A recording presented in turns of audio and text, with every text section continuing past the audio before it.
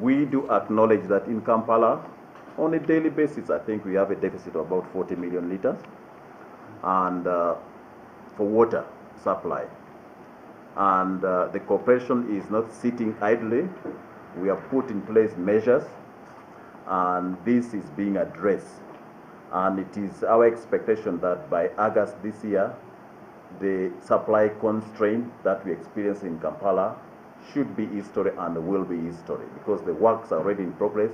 In areas where the hydraulics of the network can enable us, we are rationing so that instead of an area which used to get 12, I mean 24 hours of supply, we limit it to shorter hours.